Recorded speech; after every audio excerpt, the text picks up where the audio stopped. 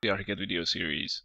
The ArchiCAD model is composed of highly parametric building components which contain important information about the element's physical and non-physical properties. Being able to subtract data from the model allows you to make better design decisions. ArchiCAD offers several ways to collect information about an element. These useful techniques will be introduced in this video. Any part of the model and you can instantly check its main parameters in the info box. Depending on the actual work environment setting, you can see different parameters. For example, with the default ArchiCAD template, you can check the layer, the elevation, or the thickness of a wall. Clicking on the info box and scrolling with the mouse allows you to display even more parameters. Naturally, these are just a part of the element's current settings. In order to see the complete list, you have to open the setting dialog and browse through the available parameters there.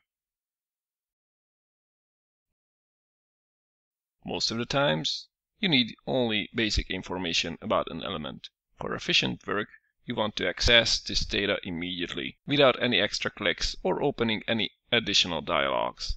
ArchiCAD has a very comfortable solution for this purpose, the element information pop-up.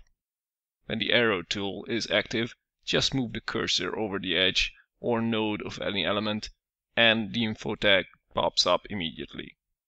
As an example, let's see a wall. The element info displays the most frequently used properties, such as the structure fill, base elevation, thickness, or layer name. You can even check if the element belongs to any groups or hotlink modules. In a real project, environment elements may overlap or touch each other. The intelligent info tag warns you if the currently used cursor point belongs to multiple elements. You can toggle between the displayable elements with the tab key. The actually used element is always highlighted for your convenience. Optionally, the info tag can be turned off or minimized in the Options, Work Environment, Selection and Element Information dialog.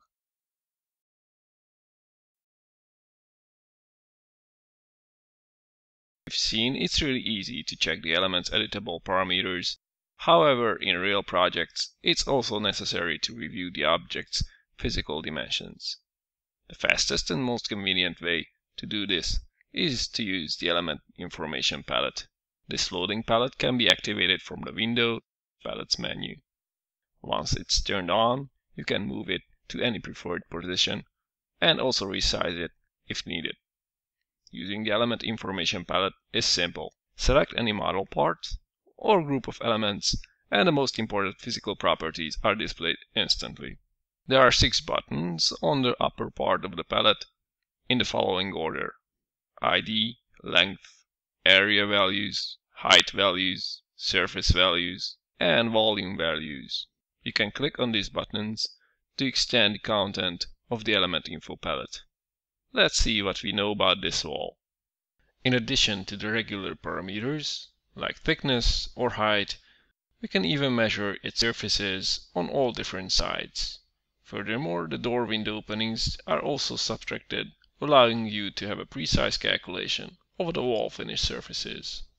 Multiple elements can also be displayed, even if the selected model parts are of different kind. In this case, the listed elements will be shown in a consecutive order.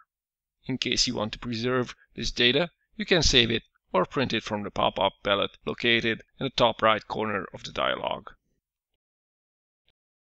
The most complete set of element data can be accessed via the listing functions of ArchiCAD. The full functionality of these tools is described in other video clips. As a short example, let's see how we can make a wall list with the interactive schedule. Let's place some walls on the floor plan first. Open the wall list interactive schedule in the navigator. The default ArchiCAD template contains several interactive schedule lists, and you can create custom ones if needed. Let's open the wall list.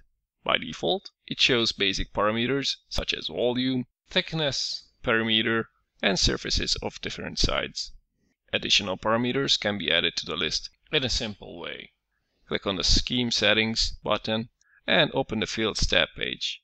On the left side of the dialog you can browse through the extensive list of general and wall-specific parameters. To add them to the list, just drag and drop to the right side and then organize as you need. Whenever you need detailed information about a wall, just click on its interactive schedule item in the navigator, and then the list will be generated instantly.